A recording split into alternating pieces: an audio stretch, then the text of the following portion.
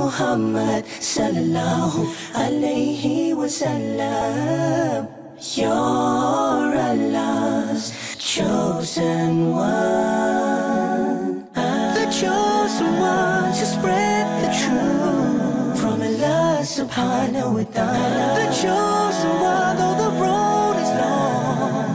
Just know Allah won't let you lose your way. You are the mercy for mankind. You are the teacher for this life. Allah has blessed you with the Quran. Assalamu alaikum wa rahmatullahi wa barakatuh. Our dear audience, welcome back to Muhammad the Leader. Today's topic with us is about balancing duties. I'm sure that myself and all the people around me here, and you, all the people watching us, are having different duties, and they're all different every day. I'm still uh, joined by Dr. Mamdouh Nuruddin, the former professor at Johns Hopkins University. Welcome, Dr. Mamdouh. Welcome. Thank you. Thank you. Dr. Mamdouh, uh, I have a quote here related to balancing duties written uh, by Bertrand Russell. Let me read this for you, and I'd really, uh, I'd really love to know your opinion about it. Okay. It says one of the symptoms of an approaching nervous breakdown is the belief that one's work is terribly important. What, what is your insight? Yeah, I think it's a good statement, and but he was trying to what he was trying to say is something different. He said that when you think that uh, the most important thing in your life is work, Mhm. this is a wrong belief. Hmm. You, uh, how do you call it? You grind yourself. You spend all your time looking for uh, efforts, uh, trying to exert an effort for the job. The job that you have is not everything in your life. Hmm. And I found that one of the leaders, he said that one of the things that you will have before you die, you will always say that I wish that I would have never worked such long times for my job. Why is this? It's as the Prophet sallallahu alaihi Alayhi wasallam salatu said, there are many other things that Hmm. are more important than your job. Hmm. And he, the Prophet Muhammad sallallahu the way he spelled it out, he said that inna li badanika alayk haqqan. First of all, he said that verily your Lord has rights on you. Hmm. Your Lord. See, the beginning here tells us who is the most important being in this universe. Allah. It's your Lord. It's not your job. It's not the salary. It's not the money, as Mm-hmm. people think. Who there's someone else who is more important than this. It's your Lord. Your Lord has some rights upon you. Mhm. Your family. Hmm. Now, this is the talk of a leader, not your job. Your family has some rights upon you, and your body has some rights on you. So, give everything its complete right. Hmm. Here is the balance. You have to draw some lines between the what you should, the rights that you should give to Allah subhanahu wa ta'ala.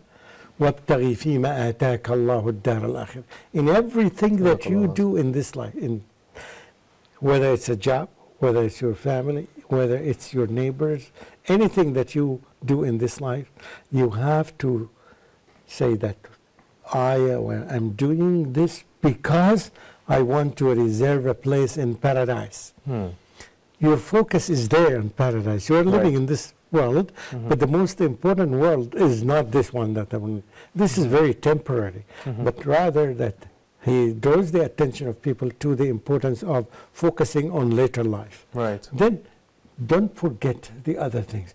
Don't forget the rights of the people who are close to you, your family members. Mhm. And I think we have a whole chapter about the issue of the family, but Yes, this we is will. Right. and here you find balancing them. And balancing does not mean 50 50. Hmm. It does not mean 20 20 20 20 20. No, it does not mean that. Hmm. It means that whatever is should go to this direction to Allah subhanahu wa ta'ala. For example, I cannot say that for Allah you give, uh, for example, 20%, 25%.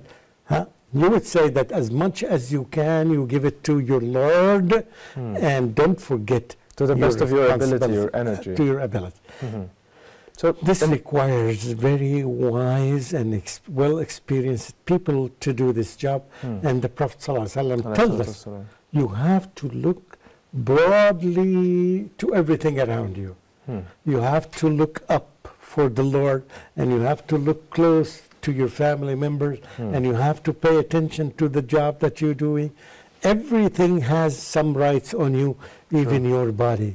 Hmm. Some people will forget, and that's why you find in the last 50 years there is a lot of advancement in this issue that they give you a time to exercise Hmm. because you know that they are you are very stressed. Just try to imagine the Prophet ﷺ said this long, long, long ago. Your body has some rights on you. It Hmm. requires some rest. It requires some exercise. It Practices, requires yeah. strength Try to imagine that this was said 1400 years ago, not just 50 years ago when the so, people Dr. started doing from the other side of the coin, how can uh, some people become the victim of their own choices? Oh yeah, this is it. Mm-hmm. You indulge yourself in the work, looking at the work. This report should be done after two hours, and this is the most important thing. No, this is not right. I have something more important than the report. I have the time for prayer, and it has to be done within half an hour. Otherwise, you will miss the time for prayer, and you want to please Allah more than you please your leader at work. So people should think out of uh, the box, not within the box. The box is one thing, but out of the box. Now we are here in this, this studio, but we know that outside this studio, there's the whole world is around us. So when we focus on 24 hours on this studio or in this job, we are wasting our time. We are not doing a good job in balancing the duties. Right. So this is something, of course, we all need to pay attention to. Hmm. Where to put the first priority Hmm. and which one is the second and which one is the third. We need to teach even our children to put things in priority and this way you give them. Because one of the most common complaints of people nowadays, particularly leaders, uh, I am very busy. I have many duties that I should do. And they think it's a And good They excuse think to that say. it's a good excuse. Mhm. Usually, good leaders don't use this. Hmm. And this is the messenger of Allah, who is a messenger of Allah receiving the Quran. And he has to memorize the Quran, uh, 600 pages or more, 620 pages of the Holy Quran. And he has to teach it to the companions. And he has to lead the, the whole nation and has to lead the army. And he has to organize the educational things that's happening. Everything he's responsible for. Yet he never complained. He never used a word similar to this phrase. I imagined asking someone today to do that. yes. I mean, well, Yes. what would the reaction be? like? Without, without ministers, without in receiving the message from Allah and in memorizing it, he has to do the job. The Prophet Muhammad has to do the job. Nobody else can, has to do this job. Right. Yeah. So, Dr. Mamdouh, now there are uh, some existing approaches where people can try to r- relieve the stress.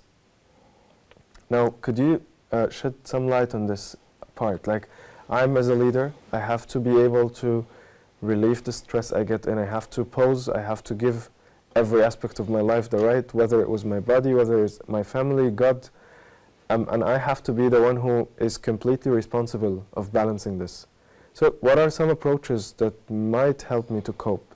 Uh, it could be mental, it could be um, some tools and techniques that I use to manage my time, for example, my energy. Yeah.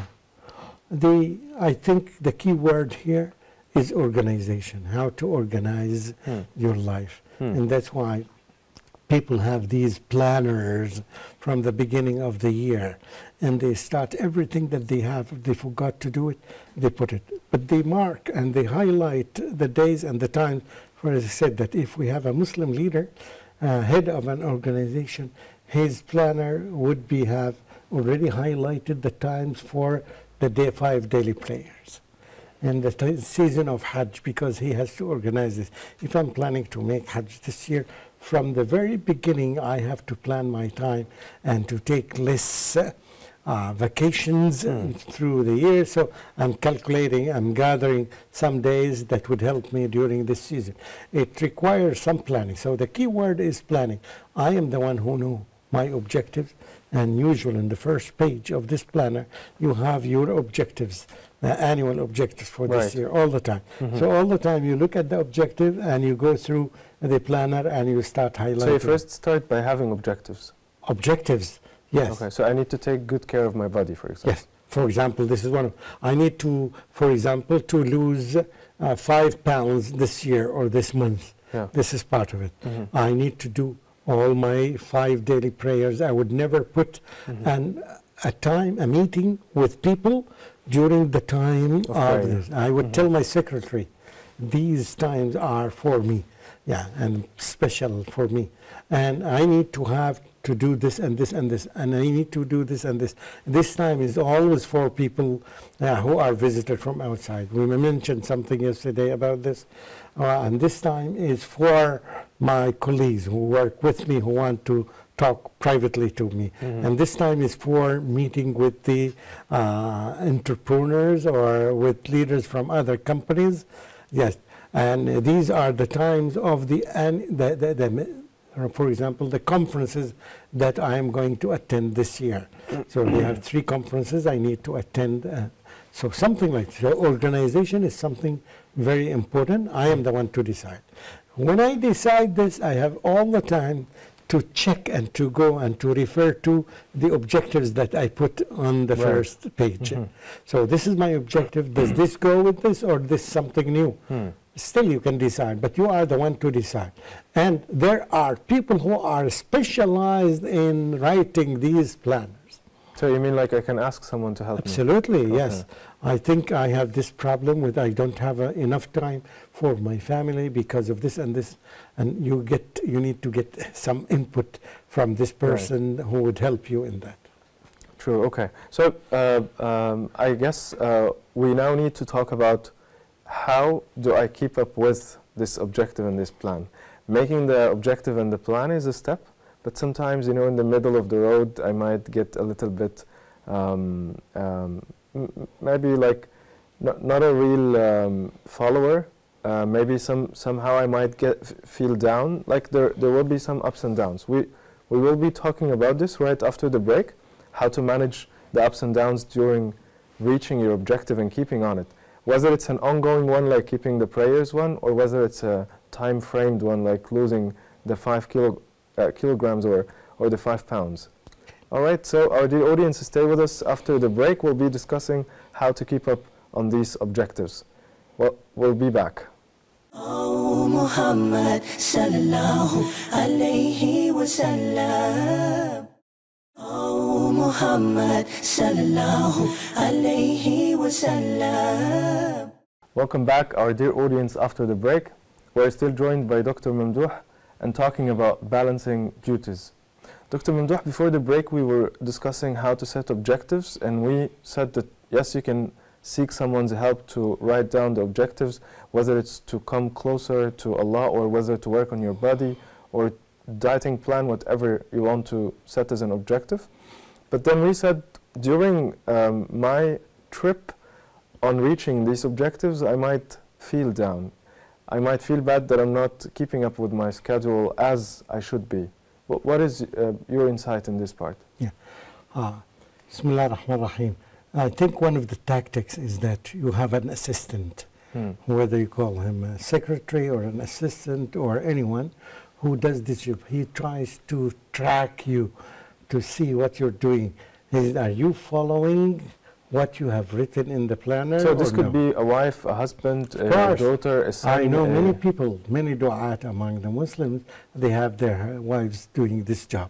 Hmm. Yeah, to do this and to do this and to do this. Hmm. And uh, it can be your wife, it can be your son, it can be your daughter, it can be anyone to do this, to keep you on track all the time. When you go out of the track, they put you again, they say that according to your objective, the smart objectives that we put together in the beginning of uh, this uh, calendar or this planner, we agreed to do this and this. It seems now you are not doing very well here. Hmm. And computers now, when you do that, they ha- there are some programs that would help you really to tell you where you are. Are you, uh, yes, here on track or are you off track and you need to review yourself? This is not difficult. This is not. Uh, what is difficult is that when you convince, when you deal with all issues at the same level of importance, Hmm. which is not true. Hmm. If you don't know how to put the hierarchy or the priority, it becomes a problem. because you cannot give the same time to every uh, problem that you have. You cannot give your family issues, family problems, the same time that you give your job. No, this is much more important. You have to solve uh, the in-house Hmm. problems before you go Exactly. outside. There's this uh, well-known four quadrants of time management yes. where people have to um, write down urgent, non-urgent, important, not important. Very good. So you have to check which one is important and urgent, and you start with. Yes. This is like pressing; it has to be done now. Yeah, yes, like that's like the issue of the prayer. This is the Mhm. time for prayer. We have to do this. So, So this, an is, very urgent, important. urgent, yeah, Mhm. and very important. yeah. Mhm. So uh, I think it's doable just by paying attention to your job, and you have to get the help of another one, assistant, who should help you. Right. Yeah. It can be your wife if she is specialized in, she knows the nature of your work. So she can help you at home and she can help you with the tasks that you've done. I've seen many, I would say not even leaders, I would say that managers who have their assistants who organize everything for them. The, the head of uh, the, for example, postgraduate studies, Mm. I remember that he used to give everything to the secretary. He just goes, said that this is my time for you in, on that day, three hours from 11 to 2 p.m. Hmm. You tell me what to do. So she organizes that. Her job, she is paid for that. For example, the first half hour you have a meeting with the other heads of departments. The second half hour you have a meeting with uh, a student who meets you regularly for his PhD dissertation Hmm. and so on and so forth. He is very specific. This is her time, the ones that she has. Right. He has no power on his time. He is just one of the people who works. And he is safe. I mean, he doesn't call people. The people call his secretary, and she does everything for him. He just goes and attend and does that. So Right. with organization, I think now we can do wonders with these programs that helps you to organize uh, your day and your Right. calendar. True. So during the early days of Islam, there were immense challenges to very to the very existence and survival of Muslims as a as a Muslim community. I mean, the Muslim community in the in the very early days, and I think this is one of the hardest duties, because uh, now you can see some sort of um, um, uh, I'd say risk or um, danger that that is uh, that, that, that that you might just feel uh, nobody's listening, people are not um, affected. I mean, and in this point, it was so hard in, in the early days. How did Prophet Muhammad والسلام, manage this stress? Because, of course, this was very new and he was very understanding and coping with this, but we want to learn how he dealt with it. Yeah. Uh, first of all, I'd like to say that perhaps, I'm not quite sure of what, of, of what I say, perhaps at the time of the Prophet ﷺ it was much Sallallahu better than now. Hmm. One reason is that at the time of the Prophet Muhammad Sallallahu he was the only one who was teaching the Muslims. Hmm. So all the Muslims are listening to the Prophet Muhammad Because it was one person, you mean? It was one person, Hmm. and the message comes to him. Hmm. So he teaches this to people. Hmm. They were not listening to all these sources of media that are overwhelming. Hmm. All these newspapers and all these, uh, yes, uh, programs in the computers and all these social media things and all these, they were not that there. This was not there. And I think uh, this means that there was only one source of uh, information and one source of knowledge, Hmm. which was mainly divine from Almighty Allah to Prophet Muhammad sallallahu alaihi Alayhi wasallam, and from. Prophet Muhammad wasallam to the people.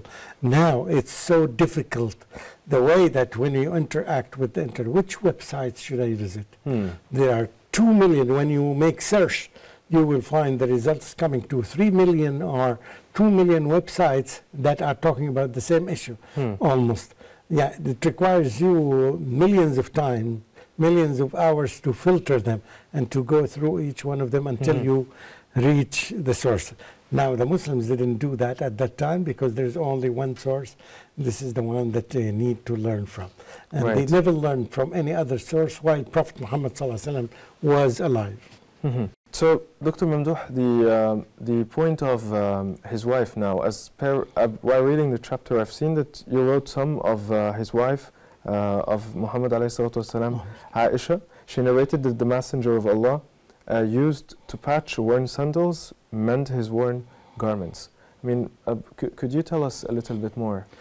Here, uh, Aisha radiallahu anha is reporting the situation. What does the Prophet ﷺ do at home? Alayhi salatu wasalam. Hmm. And because this is something very significant, because a lot of husbands don't pay attention to their role at home. Hmm. They think that they are generals in the army, or ministers in a cabinet, Hmm. or this and this job and the other job, or ambassadors for one country or so. Hmm. So they think that they are too much for them to do something at home. Hmm. And she is telling us, and this is part of balancing the duties. Even if you are an ambassador, even if you are a general in the army, you are at home a husband, you have to show these kindness and mercy to your wife and to the family members. You have to help them. You have to help your wife. And I think it was a mixture of uh, culture and Islam together. People mix between them. There's a big difference between the culture that you inherited from your parents and from the society that you live in and what the Prophet ﷺ said and did and approved. Right. Here, she told us about the Prophet ﷺ at home. She used to mend his sandal. Hmm. She used to, he, to mend or to fix the garment. And he used to help his wife at home. Hmm. Does any one of us do this at home? If we don't, we are not good potential leaders. Right. And I need every wife to know her job. That this is her job, but she can ask. Her right is to ask her husband. Of course, the relationship should be very, very, very smooth. Hmm. She would ask, I am pregnant now. I was just in one of the houses, and the husband forgot that his wife is pregnant, so he was very tough on her. And I told her that she should remind him very gently that now remember that the effort I used to do before being pregnant uh, was tremendous, but now it should be less. In other words, that I need some sort of help. I need some sort of help from you. I need one hour from you every day to help me. Are you willing to do this like the Prophet sallallahu alaihi wasallam, or are you going to be uh, some sort of uh, an arrogant uh, general uh, in the army? So, in this way, w- every woman should know their rights, and even husbands can learn a lot. If you don't read the biography of Prophet Muhammad, sallallahu alaihi wasallam, you miss a lot in your life.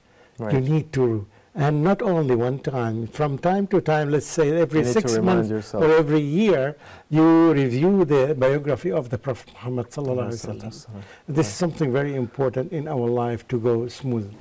Right. So, one important factor that helped Muhammad alayhi salatu Allahumma wasalam salli. was all of his duties, those heavy duties that we were just saying that nobody could could just take them and say yes, give me them to work on them and do them. They would at least first thing they do is to resist. However, Muhammad wasalam was that he found comfort in his relation with his wives. Yeah. That's exactly the point you were mentioning. This now. is what Allah subhanahu wa ta'ala tells us in the Quran. they are sakanan lakum. Uh, They are source of comfort for you. Hmm. This is one of the main things that you don't find. You cannot make your job all the time. You cannot force all the people around you if you're working with 200 Sure. people or 300. But at least you can make, if your life uh, with your husband, uh, with your wife, are smooth, Mhm. it makes it easier for you. And, uh, and we know that how Khadija radiallahu anha was a source of this kind of comfort for the Prophet Muhammad sallallahu alaihi wasallam. She dealt with him as if he is her baby, not just her husband, as if he is, he, she felt what he needs in his life. She has seen kind of the stress that was pushed on him and was put on him because Exactly, of yes. his responsibility. That's why she used to make everything for him comfortable. Mm-hmm. It's a great job.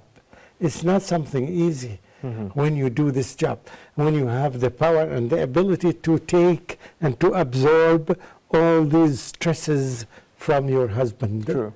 It's a wonderful job, and you don't find it. Nobody else is going to do this uh, except your spouse. Exactly, yes. All right, Dr. Mamdouh, thank you so much uh, uh, for uh, uh, these words. And I'm going to use the last word you mentioned to end uh, this episode with. Yes, uh, uh, the best one to do that with you and hold the and balance the duties is your spouse. Thank you so much, Dr. Mamdouh, for being with us. Thank you. All right, our dear audience, that was the last um, thing we were talking about during this uh, episode where we spoke about balancing duties. And uh, inshallah, we'll see you in next episodes and we'll learn more about Muhammad, the leader. Assalamu alaikum wa rahmatullahi wa barakatuh. Oh Muhammad sallallahu alayhi wa sallam.